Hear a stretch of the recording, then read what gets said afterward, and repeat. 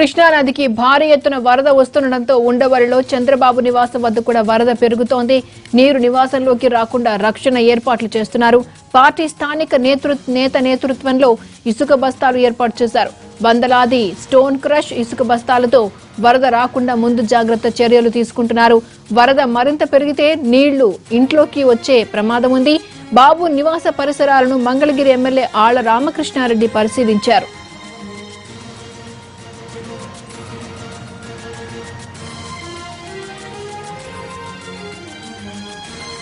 ఇదే విషయంపై పూర్తి సమాచారాన్ని మా ప్రతినిధి ఆలూరి రమేష్ అందిస్తారు. రమేష్ ప్రస్తుతం చంద్రబాబు నివాసం వద్ద వరద ఉధృతి ఎంతవరకు ఉంది? ఆ, అంటే వరద ఉధృతిని కట్టడి చేయడానికి అధికారులు ఎలాంటి జాగ్రత్తలు తీసుకుంటున్నారు?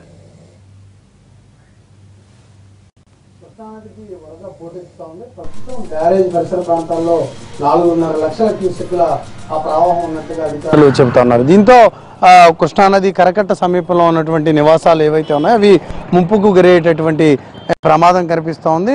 గతంలో రాజకీయంగానూ విస్తృతమైనటువంటి చర్చ అయినటువంటి చంద్రబాబు నివాసం వద్ద ఆ పరిస్థితిపై ఆ ప్రస్తుతం అంతా దృష్టి దృష్టి సారించినటువంటి మనకి పరిస్థితి మనకి కనిపిస్తూ ఉంది. ఇది ఒక అక్రమ నిర్మాణం. వరద వచ్చిన సమయంలో ఈ నిర్మాణాలన్నీ కూడా ముంపుకు గురయ్యే అవకాశం ఉంది. నిబంధనలకు విరుద్ధంగా వీటిని నిర్మించారనేది ఉమ్, ప్రధానమైన వాదన. ఇందులో భాగంగానే ఇక్కడ ఉన్నటువంటి ప్రభుత్వ భవనాన్ని ప్రజావేదికను కూడా అధికారులు కూల్చివేసినటువంటి పరిస్థితి. అయితే ఇప్పుడు వరద ప్రవాహం నాలుగున్నర లక్షల నుంచి ఐదు లక్షలకు చేరుతున్నటువంటి ప్రస్తుత ఆ పరిస్థితుల్లో ఇక్కడ కృష్ణానది కరకట్ట సమీపంలో ఉన్నటువంటి ఇళ్ళ పరిస్థితి ఎలా ఉంది? మాజీ ముఖ్యమంత్రి తెలుగుదేశం పార్టీ అధినేత చంద్రబాబు నివాసం ఉంటున్నటువంటి పరిసర ప్రాంతాల్లో వరద వరద ప్రవాహం ఏ రకంగా ఉంది? దానివల్ల ఎంతవరకు ఆయన నివాసం ఎఫెక్ట్ అవుతుందనే అంశంపై చర్చ జరుగుతోంది. ఇప్పుడు ఉన్నటువంటి పరిస్థితిని తాజా పరిస్థితిని మనం చూసినట్లయితే ఇప్పుడు ఉన్నటువంటి ప్రవాహానికి ఎటువంటి ఇబ్బంది ప్రవాహం వల్ల నివాసానికి ఎటువంటి ఇబ్బంది లేకపోయినా మరొక లక్షన్నర నుంచి రెండు లక్షల క్యూసెక్కుల ప్రవాహం కనుక కృష్ణానదికి బ్యారేజ్ సమీపంలో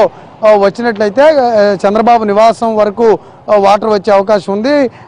ఆయన పార్కింగ్ వాహనాలు పార్క్ చేసే ప్రాంతము అదంతా కూడా నీడి నీటితో మునిగిపోయే అవకాశం ఉందనేది అధికారులు ప్రాథమికంగా అంచనా వేస్తున్నారు. ఇప్పుడున్నటువంటి వరద నేపథ్యంలో నివాసానికి ఎటు ముంపుకి ఎటువంటి నివాసానికి ముంపు ప్రమాదం ఏమీ లేదనేది ఇక్కడ ఉన్నటువంటి పోలీసు సిబ్బంది చెబుతా ఉన్నారు. అయినా మంచిదని ఎందుకన్నా మంచిదనేటటువంటి ఉద్దేశంతో ఆ బాబుకు నివాసానికి చెందినటువంటి వాళ్ళు బా- ఇక్కడ ఉన్నటువంటి సిబ్బంది ప్రత్యేకంగా ఏర్పాట్లు రక్షణ ఏర్పాట్లు చేసుకుంటా ఉన్నారు. రాత్రి నుంచి కూడా ఉధృతంగా వరద ఉంది. వరద మరింత పెరిగే అవకాశం ఉందన్నటువంటి వార్తల ఆ నేపథ్యంలో చంద్రబాబు నివాసం పరిసర ప్రాంతాల్లో కొంత ఆ, రక్షణ పరంగా నీటి ప్రవాహాన్ని అడ్డుకునే విధంగా ఇంట్లోకి నీరు నేరుగా ప్రవేశించేటటువంటి ఇబ్బంది తలెత్తితే దాన్ని పరిష్కరించే విధంగా కొన్ని రక్షణ ఏర్పాట్లు చేసుకుంటా ఉన్నారు. స్టో- స్టోన్ క్రష్ అదేవిధంగా ఇసుక బస్తాలతో ఇక్కడ దాదాపు వందలాది బస్తాలతో ఆయన ఆ నివాసానికి నదికి మధ్యలో ఉన్నటువంటి గట్టు ప్రాంతం ఏదైతే ఉందో అక్కడ రక్షణ చర్యలు ఏర్పాటు చేస్తున్నట్లుగా మనకు తెలుస్తుంది. ఇప్పటికే ఆ రక్షణ ఏర్పాట్ల ప్రక్రియ కూడా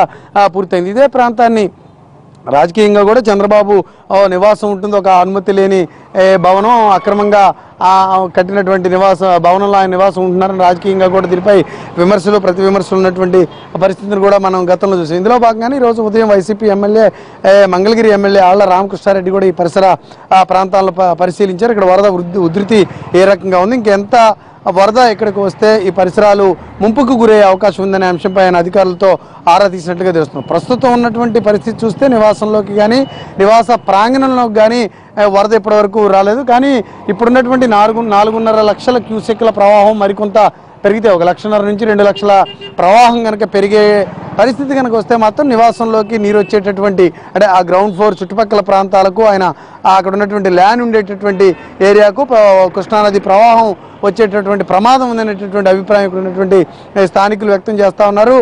చంద్రబాబు నివాసం ముంపుకి దగ్గరగా ఉందన్నటువంటి వార్తల నేపథ్యంలో చుట్టుపక్కల ఉన్నటువంటి గ్రామాల రైతులు ఇక్కడ ఉన్నటువంటి స్థానిక ప్రజలు కూడా ఎలా ఉంది ఇక్కడ పరిస్థితి ఎలా ఉందని వచ్చి చూసేందుకు పెద్ద ఎత్తున ఇక్కడ తరలిస్తున్నటువంటి పరిస్థితి కూడా మనకి కల్పిస్తోంది. ఇప్పటివరకు నివాసానికి వరద పరంగా ఎటువంటి ఇబ్బంది లేకపోయినా వరద ఇదే విధంగా కొనసాగి కిందకు నీళ్ళు వెళ్ళడం కొంత స్లో అయితే మాత్రం నివాసం నివాసం లోపలికి నీళ్ళు వచ్చేటటువంటి ప్రమాదం ఉందనేది స్థానికంగా ఇక్కడ ఉన్నటువంటి పరిస్థితిని చూస్తే మనకి అర్థమవుతున్న పరిస్థితి. అందులో భాగంగానే ఇక్కడ ఉన్నటువంటి చంద్రబాబు కాన్వాయ్ కానీ ఇతరత్ర వాహనాలు కానీ ఇక్కడ నుంచి తరలించారనేది మనకు అందుతున్నటువంటి సమాచారం. ఇది ప్రస్తుతం ఆ ఉండవల్లిలోని చంద్రబాబు నివాసం వన్- వద్ద ఉన్నటువంటి తాజా పరిస్థితి క్రాంతి.